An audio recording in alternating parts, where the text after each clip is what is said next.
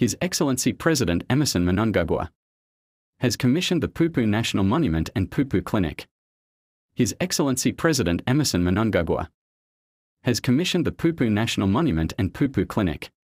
Government has reconfigured the Shangani Pupu Monument, a place where King Lobengula's Zimbizo Regiment led by General Nchana Kamalo killed settler forces commander Major Alan Wilson and his fighters on 4 December 1893 to represent the whole story in telling the story of the Battle of Pupu, the colonialists intentionally snubbed the Enderbell perspective. Unlike in the past, when the settler government portrayed Major Wilson and his forces as the heroes, the monument is now justifying the victors in that particular battle.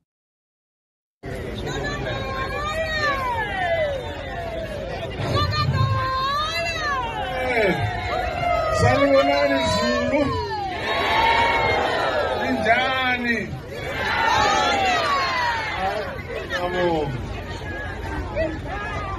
sibuye ngapha namhla la madoda la uvice president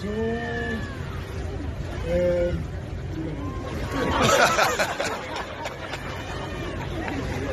uvice president uthembe mohadi uyamazi bangabisisana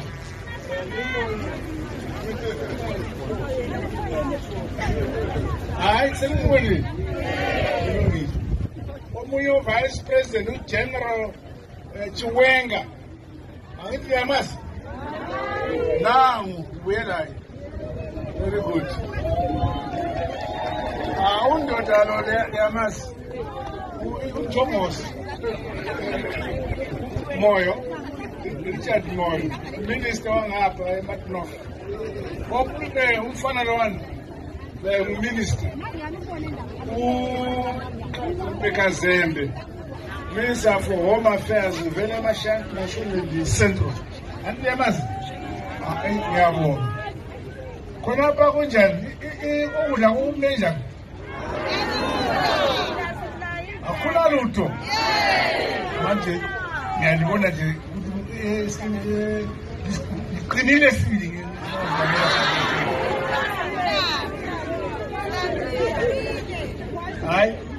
la e, e, e, ehulumende kukhona amadlakana azabona ukuthi ngizaliwa njani isikafu angifuna ukuthi umuntu ma umuzi ukuthi abantwana babe ngendlala hayi lokho angikufuni ngiyabonga bakithi thank you